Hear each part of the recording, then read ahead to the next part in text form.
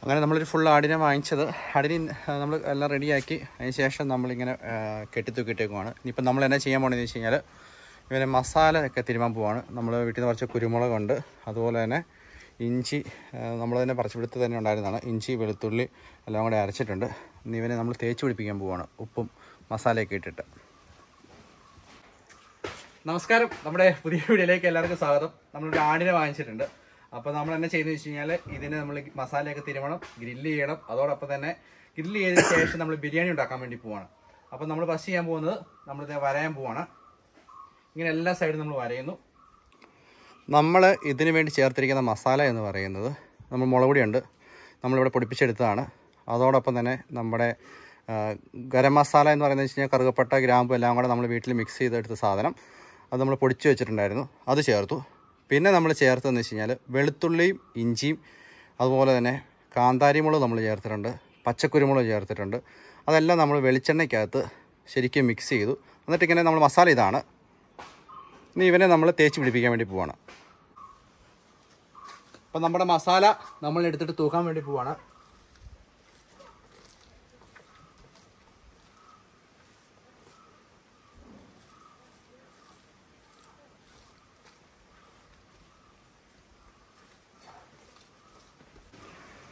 അങ്ങനെ നമ്മൾ ആടിനെ മൊത്തം മസാലയൊക്കെ നന്നായിട്ട് തേച്ച് പിടിപ്പിച്ചിട്ടുണ്ട്.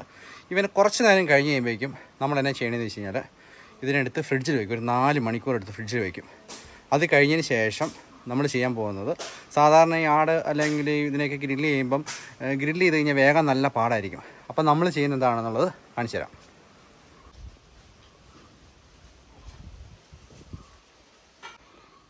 ഇത് നമ്മൾ ഇവിടുന്ന് പറിച്ച ഇഞ്ചിയാണ്. ഇങ്ങനെ ഇഞ്ചി ഇടയ്ക്കോടെ ഉണ്ട്. ഞാൻ കാണിച്ചു തരാം. കണ്ടോ? ഇതെല്ലാം ഓരോ ഇഞ്ചിയുടെ ഇതാണ് നിൽക്കുന്നത് അപ്പോൾ ഡെയിലി ആവശ്യങ്ങൾക്ക് ഇങ്ങനെ പറിച്ചെടുക്കും. നമ്മൾ വളമൊന്നും ഇടാത്തത് കൊണ്ട് തന്നെ ഉണ്ടല്ലോ. ഇതിന് വലിയ വലിപ്പമൊന്നുമില്ല. പക്ഷേ നല്ല ഓർഗാനിക് സാധനമാണ്. അങ്ങനെ. വീടിന്റെ പുറകിലുള്ള ഏലമാണ്. അപ്പോൾ അവൻ അങ്ങ് റെഡി ആകുമ്പോഴേക്കും നമുക്കിതിനെ ഫ്രിഡ്ജിൽ കയറ്റണം. കണ്ടോ? മസാലയൊക്കെ ശരിക്കും തേച്ച് പിടിപ്പിച്ചിട്ടുണ്ട്.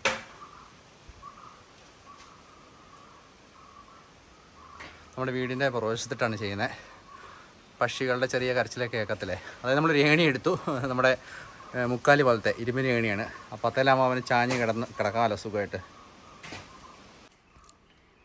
നമ്മൾ ഇവനെ ഫ്രിഡ്ജിൽ കയറ്റാൻ വേണ്ടിയിട്ട് നമ്മൾ ഇതിനകത്ത് കവർ ചെയ്യുവാണ്. പിന്നെ ഇവന്റെ കൈയൊക്കെ നമ്മൾ അയച്ചു കൊടുക്കും. ഓക്കെ.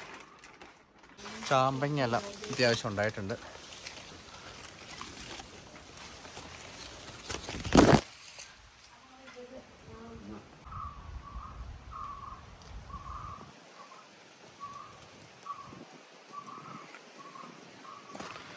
നമ്മൾ അങ്ങോട്ട് പോകുമ്പം കുരുമുളക് കൊണ്ടുപോകും.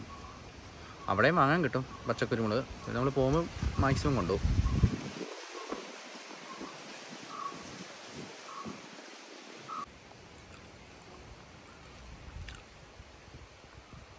ഇപ്പോൾ ഹൈ റേഞ്ചിലൊക്കെ ഭയങ്കര പന്നിയുടെ ഭയങ്കര ശല്യമുണ്ട്. അതായത് ഇവിടെ പന്നി ഇറങ്ങിയിട്ട് നേരെ ഈ കപ്പ ഇല്ലാണ്ട് കിടക്കുന്നവിടെ എല്ലാം അത് കുത്തിയതാണ്. അതിനുശേഷം അത് വലിച്ചു കെട്ടിയതിന് ശേഷം കുറച്ച് ആശ്വാസമുണ്ട് ഇപ്പോൾ പന്നി വരാറില്ല. ഇനി നമ്മൾ എന്നാ ചെയ്യണമെന്ന് വെച്ച് കഴിഞ്ഞാൽ ആടിനെ ആവിയിൽ പുഴുങ്ങും. ആവിയിലൊരു എഴുപത് ശതമാനം എഴുപത്തഞ്ച് ശതമാനം വേവിച്ചതിന് ശേഷം മാത്രമാണ് ഗ്രില്ല് ചെയ്തോളൂ ഇല്ലെങ്കിൽ എന്നാന്ന് വെച്ച് കഴിഞ്ഞാൽ കറക്റ്റായിട്ട് വെന്ത് കിട്ടത്തില്ല. അങ്ങനെ നമ്മൾ തീ ഇട്ടേക്കുമാണ് നമ്മുടെ ആടിനെ ഗ്രില്ല് ചെയ്യാൻ വേണ്ടിയിട്ട്. ഇതാണ് നമ്മുടെ സ്പെഷ്യൽ പൂവ്. ഇതിന് ഭയങ്കര ലോങ് ലൈഫാണ് വളരെ എക്സ്പെൻസീവ് ആണിത്. പക്ഷേ ഇവിടെ അതിനുള്ള വിപണിനി അതായത് ഇവിടെ നമുക്ക് വിൽക്കാൻ പറ്റത്തില്ല.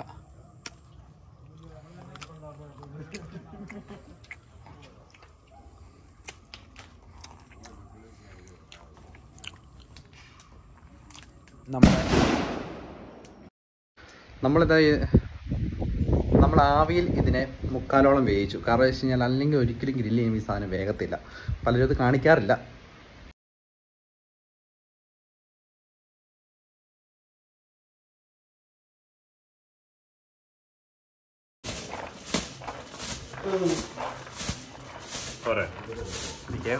അങ്ങനെ നമ്മുടെ ആടെല്ലാം ഗ്രില്ല് ചെയ്ത് സെറ്റായി എടുത്തപ്പോഴേക്കും ഈ ഒരു അവസ്ഥയിലായി.